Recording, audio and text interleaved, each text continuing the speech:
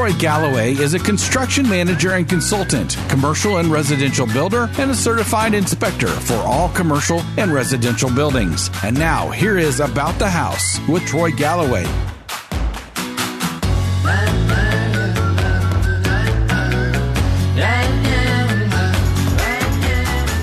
Well, hello, folks. Welcome to About the House. This is your audio university of knowledge on everything about your home, from construction, remodeling, home improvement, building, and everything related. You can have a forever library through our podcast and our YouTube radio shows on each subject we air. You can also find more information about our company on our shows uh, on our webpage, GallowayBuildingServices.com, and also our Facebook page, GallowayBuildingServices.com. Hey, this is Troy Galloway, your humble host owner of Galloway Building Services. Like this show, we're one of a kind. There isn't another company that provides the unique services we do for folks throughout the Midwest every day. And we love doing it. We love helping them. We help folks doing construction consulting. So if you have any questions, whether your job's being done right or not, give us a call. Uh, we come in there, take a look at it, and you know, you always got one of these neighbors out there that know everything except for what they're talking about. Well, if you got one of them and he's saying the job's being done wrong, uh, then give us a call. Or if the contractor says it's being done right and you just know better, give us a call. We come in and help you out with this kind of inspections. We also do commercial and residential inspections. So, say if you're buying or selling a building and you want to make sure you know what you're buying, see if it's got the value that they're asking for or what kind of major conditions make, you know, maybe a money pit. You give us a call for that as well. Uh, we also do conflict resolutions and expert witnessing. We've been doing this now for over 42 years. Our motto is, is that we make sure that you're getting what you paid for, the job is being done right, and you're not getting ripped off. So give us a call, Galloway Building Services. Phone number 314 520 6655.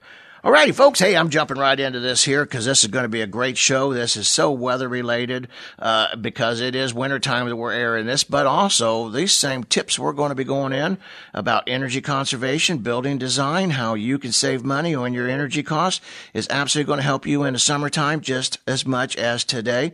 And you know, it's a big field out there on how to save money on your energy cost. And a lot of folks, you know, they're, they're in here and they're going to tell you you got to buy these windows and you're going to spend thousands of dollars for brand new windows or thousands of dollars for doors or maybe it's the roof has to be and that'll save you money or more insulation. And you know what? Every one of them items definitely will save you money. But you got to think about it. How much money am I actually investing versus how much am I saving? And is it really cost effective? So today, we're going to focus on what is your biggest bang for your buck for the least amount of cost. And we're only talk, we're talking maybe less than a hundred dollars for this total package of what we're talking about. We don't do it. This is something you could do for yourself or have a handyman help you with. You're going to save this much money on a cold winter day, just like today within the month or so. So we're going to jump right on into it. So what is it that makes you feel cold? Let's talk about that first. It's drafts. And a perfect example of that is during the summertime, whether you're sitting in, say, a 95 degree room with a fan or a 95 degree room without a fan. That breeze literally helps you stay cooler. Well, that's fine and dandy in this, in, in, in the summertime, but boy, come wintertime, that's just not what we're wanting. You know, uh, we definitely don't want that, our heat to be sucked right out of our home. So what we're going to be focusing on, and absolutely is the best bang for your buck is cutting down the drafts in your home and around your home. So let's get started on talking about some of these different areas where we can seal them up. And that's we're going to go, we're going to go outside and kind of work our way indoors. Uh, but so on the outside, let's talk about caulking. Caulking and sealing. These are going to be, we're going to be talking about caulking and sealing all the way through this particular program Later, we'll talk about some other energy conservation designs and systems, but today we're just going to cut down on the drafts because that's going to save you the most money. So what I would like for you to do is go outside and walk around your house and, uh, let's talk about caulk real quick because if that's what you're going to be using, you can, you, know, you can, it's always great to buy a great expensive silicone caulk, you know, that lasts for 100 years. But, you know, honestly, if you just got you some good economical caulk, if that's all you can afford, that's great. You can always recaulk in a few years. Uh, so don't worry about that. You have to buy this expensive, expensive stuff. If you can, Fabulous. If you can't, no worries. Okay, so we're going outside and we're checking it out, walking around our home. So what are we looking for? Well, I'm looking for, you know, just like when I do home inspections, uh, for folks, you know, we tell about these protrusions. So if you like your gas lines coming out of your home where your meter sits, your air conditioner, you know, where your air conditioning lines come in and out, these are areas that almost always you see where there's a draft coming through these or holes. And normally these are so big coming in and out that bees and bugs are getting in there. So for heaven's sakes, you don't want that either in the summertime. So let's cut down our drafts around that. So also your where your wire comes in for your service drop from your power company. That's also a hot area or, or a drafty area that you want to make sure gets sealed. Okay, so we got all of these sealed around through there. Then let's kind of keep on walking around. And then, of course, we all know that you should always have around your windows and your doors all caulked and sealed around that. So go around through there and make sure all that caulking's good you know, and just, just, you know, just put a new bead around it. If you have to, take off the old if there is any, but just do a new, good new bead around it and get all that sealed. We're going to talk more about sealing uh, the windows and doors on the inside a little bit later, but so let's do this, get all that good and caulked and cleaned up. Make sure there's no air drafts in through there. Then we're going to go in here and go around. Now, this is an area that a lot of people miss. It's now the current code in a, not, a lot of municipalities. And that's say if you got a vinyl siding that's, or your, any kind of siding that's going up against masonry. Well, right there at that gap where your masonry, masonry is either stone or brick. You'll want to caulk that and seal that up because there again, you're getting moisture in, you're getting a lot of air in behind through there. So, and these are just areas people just never think about. So, them are really great areas to attend to. Then I want you to go over there. So if you got like a clapboard or a wood board type siding, wherever your trim boards all meet with your siding, make sure all of that's caulked and, and tight you know, just think about you're trying to seal an envelope, you know, that you're trying to get nice and tight. And so any kind of areas like that, you know, around your vents and things, you want now not your attic vents, but then your home itself, like your exhaust vents to your bathroom or something. Uh, make sure everything is tight around that too, so no air can get in and around through there. So these are great places that we can focus on. And, you know, we're maybe talking 10 $15 a caulk if it's in a bad shape that you could get sealed up. And so we're going to make sure them are nice and tight before we go in the house. And then we're going to wander indoors. let's start down in the basement. Uh, and the reason I like to think about the basement is because just think about how heat works.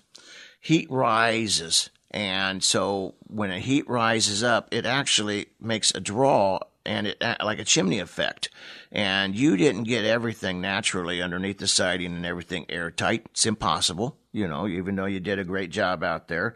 So we want to go to the basement and seal that up so we don't get that thermal cycling effect where the heat draws in there and, and, up and out of the attic.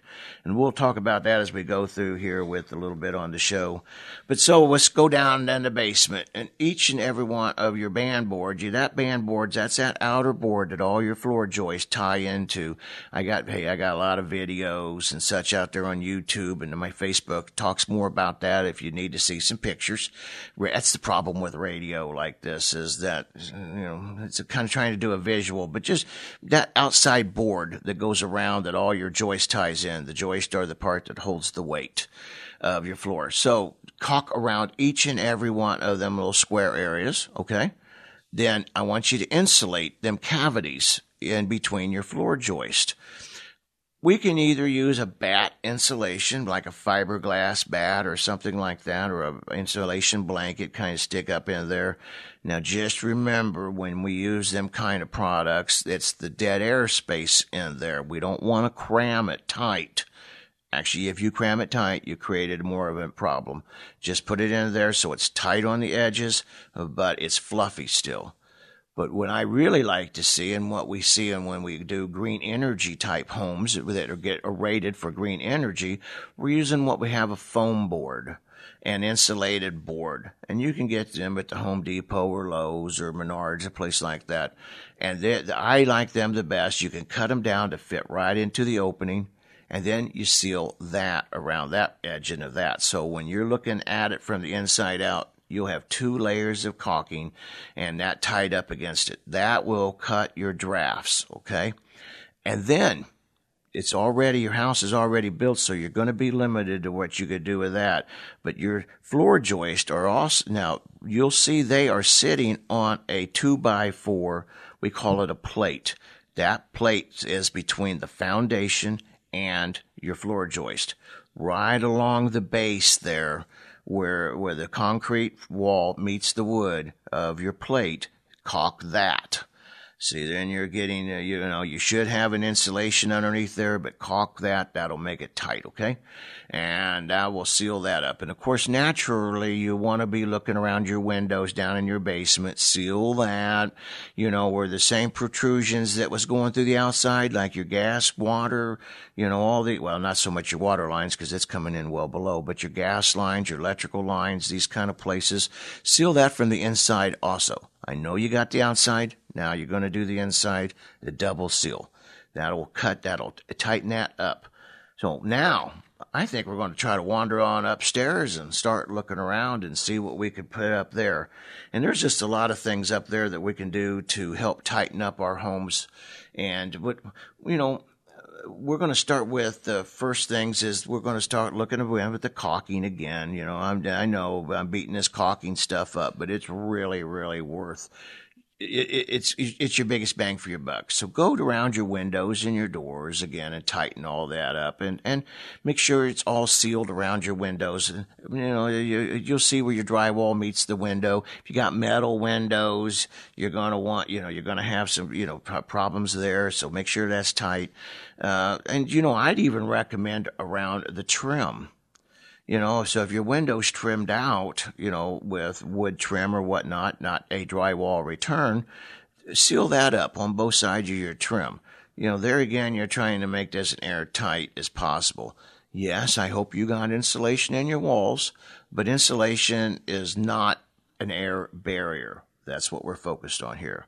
And now, on your windows. Remember, you know, a lot of us still old enough to remember the old days that we used to put plastic up on our windows, and I know a lot of folks still do.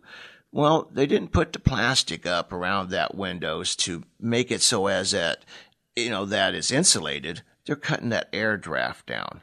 So what I is, hey, this is an old green energy trick that we've been using for years. And so if you don't use the plastic, you know, which not, it's really a poor barrier anyway. I want you to get some of that foam board, that insulation, and cut that out to the size of your window.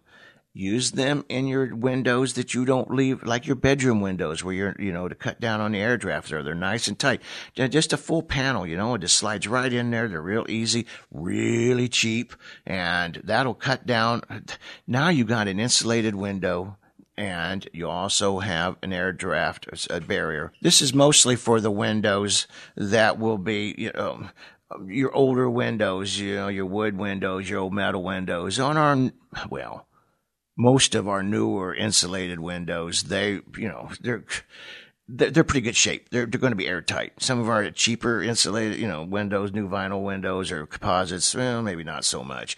But you stick that in there. Now we also sell insulating curtains and blinds, but now we're starting to get into some more expense. I'm trying to keep this down so it makes us save us some money. Put them panels also into your your bedroom areas, any windows that you don't use very often, uh, maybe like on the north side of the house, things like that. And uh, of course, when it gets really cold, You can have them to stick in all your windows and every all at nighttime. It's going to save you a ton of money. We've been doing that trick for years and years, and that'll help you tons.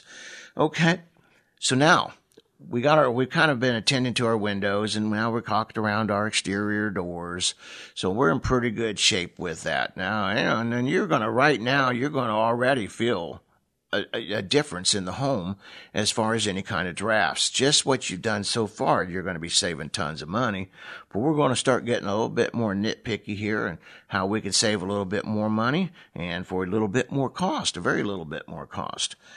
What we're going to do now is I want you to go around there and look around your, uh, your inside of all your baseboards. Your baseboards, them at your trim board at the bottom of the floor now, where you got carpeting, you're not going to be able to do this, but the carpeting actually kind of helps you already with this. But what we're going to do, so if you got like a, a, a, a vinyl flooring or a plank flooring or something, you seal that. Now, seal, I want you to seal that on the floor to the base trim, on, where the two meet, because there again, we're getting that thermal cycling effect. And where it actually, the attic is cooler, your house is hotter, the hot air will just literally chimney effect suck that right up through there. Your exterior walls, you have some insulation, but that's where your biggest cold, you know, your most cold areas are at, but that'll slow it down. But I want you to do it into the whole interior of your home. We're going to talk about that a little bit later here in the show. But when we do that, that's cutting down because that it's going to cut down anywhere where that heat can rise up and go up into the attic and be lost out into the into the world. So you want to seal all of that also. Now, what's going to be is a twofold with that. And in a lot of municipalities, it's a code issue, not because of air infiltration to have that sealed right there at the baseboard and the floor, but it's because of moisture, water. So when you're mopping your floor, naturally when you mop, you're going to get some water and stuff get up underneath them baseboards. That's going to cause you some mold issues, a little bit of water concerns. So that's why we've been having to do this for several years as code. Now, that's not all municipalities, so I don't want to make that as a general statement, but you see that quite often still. So you want to make sure that you seal all of that. Now, let's look at the top up there of our wall. I want you to see, make sure your drywall tape and everything's nice and tight. Of course, you probably want that anyway, so it's a nice painted wall. And just make sure you don't have any kind of areas there to worry about. Now we're going to go over here and we're going to start talking about right around in our your all your electrical and your light cavities. So inside of the, you can buy and you've you've seen this I know folks but it's a really great easy idea.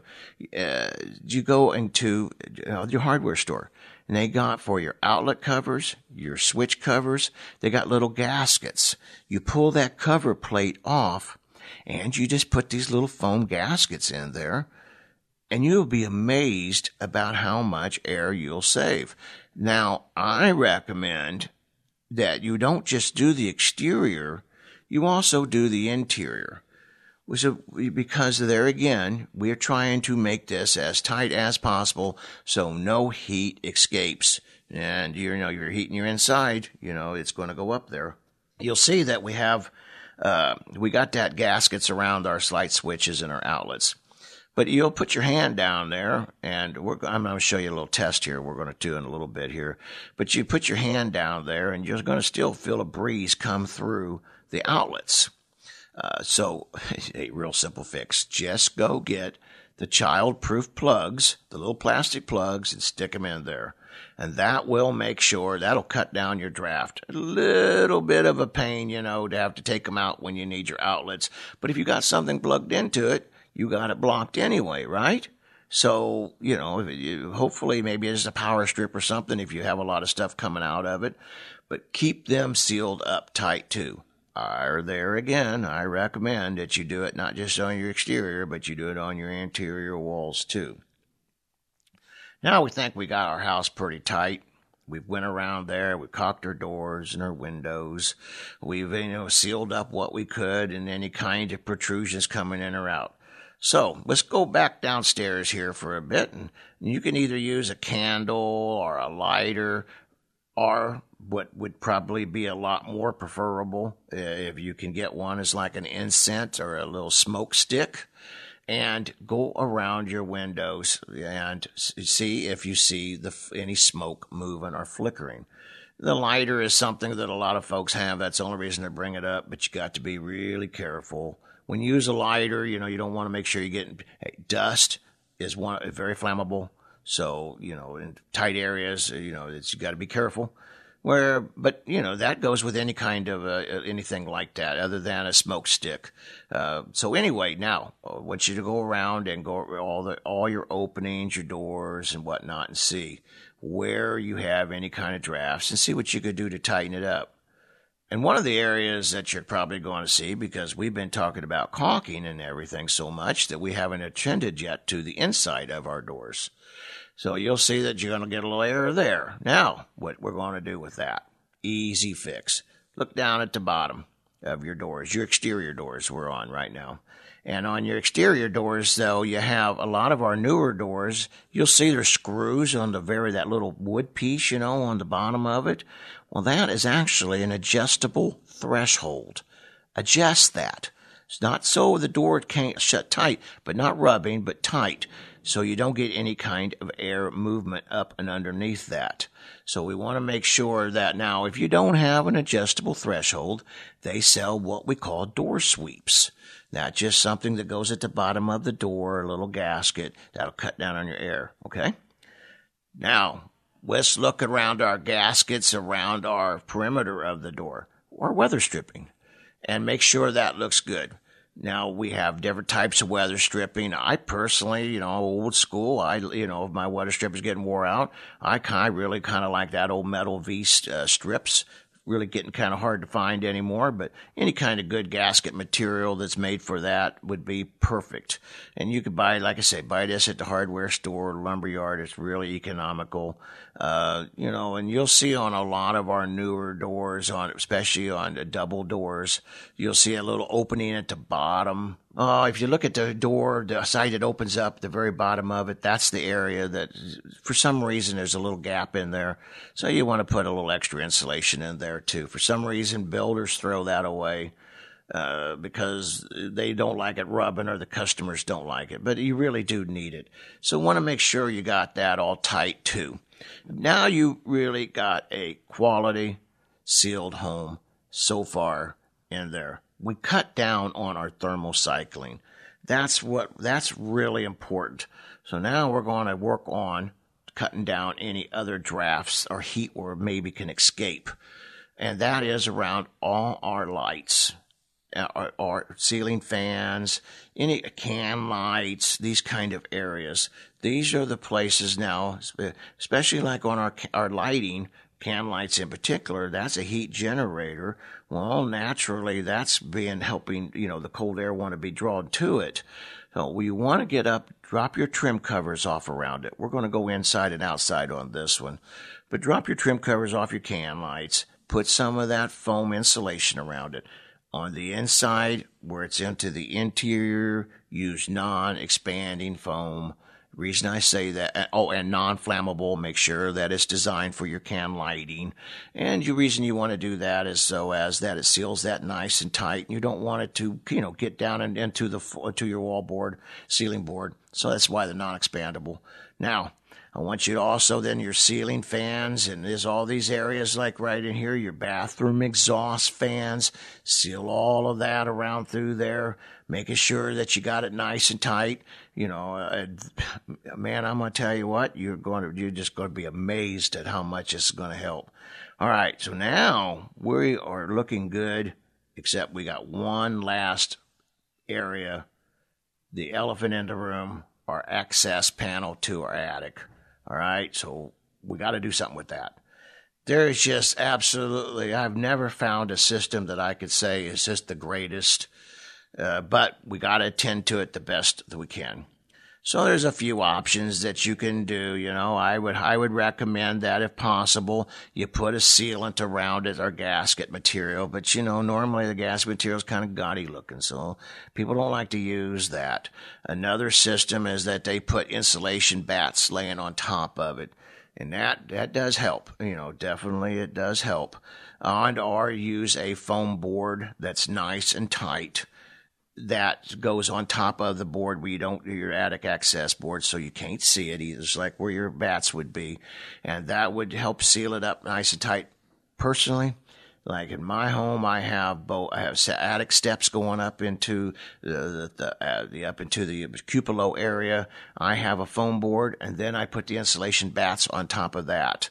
They're kind of hard to drag that insulation batt over top of the attic access when you're shutting the hatch. Uh, but you just do the best you can. But the foam board, that's my savior and grace, and that's what helps me uh, get it nice and tight.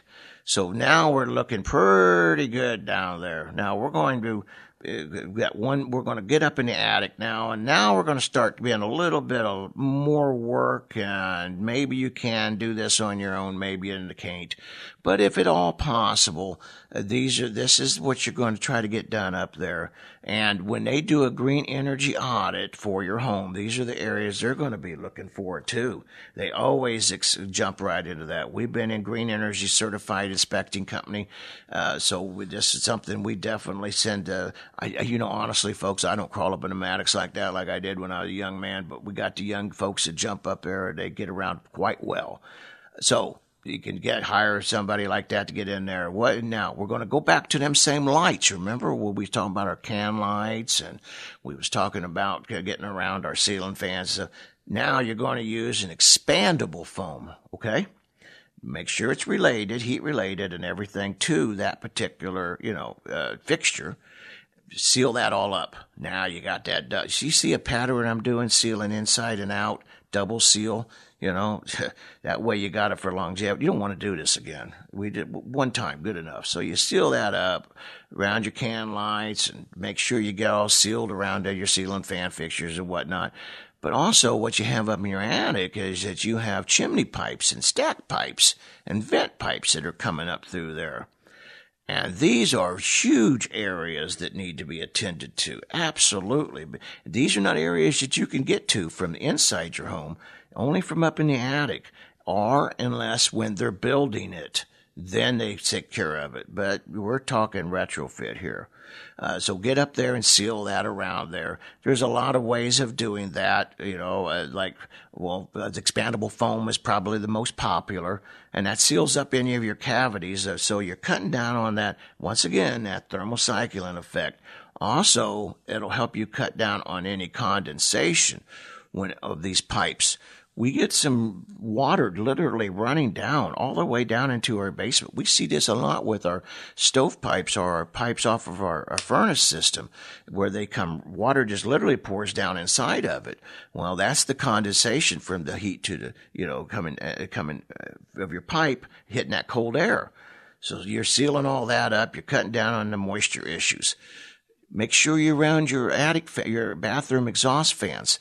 That's nice and tight. Make sure you got that taken care of. So now if we got, now we're going to go to the top plates. We're going to, and that is where your partitions, you'll see where the two by four lays flat and you'll see them all around. Try to clean that off on all your top plates. Seal that. That's going to help you cut down a 100%. You've already been inside the house. You've already cut down on all the interior drafts from the inside. Now you're double cut. Now you're double sealing it again from the top plates, and that is going to tighten that up to uh, put you in great shape.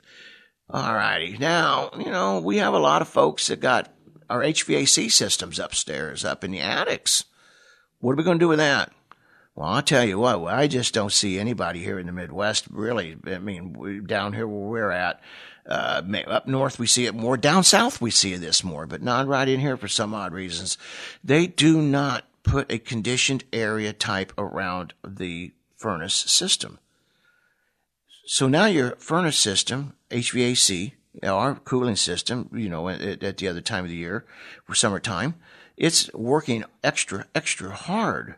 So what you want to try to do is keep that, uh, put it, you know, put it, so you don't have to make, you're not trying to make it airtight but you try to keep it a little bit of an insulated area around there. And you could use foam board is very popular. Sometimes people use batt insulation, you know, and build a little bit of a retaining wall. But, you know, the foam board, uh, rigid board is, is probably your best bet for this. All right. So now we got our ductwork. And we literally have ductwork that's non insulated. I mean, nothing on it up in our attics. Well, naturally, you want to put an insulation blanket around that and put it on the top, you know, of it. So, you know, to make sure and put it, wrap it the best you can, but just lay it around there. Make sure you're nice and tight. No, I take that back. You don't really have to be so tight. You know, just make sure you get a good blanket. Just think about you laying in bed and trying to keep that heat in. Same thing.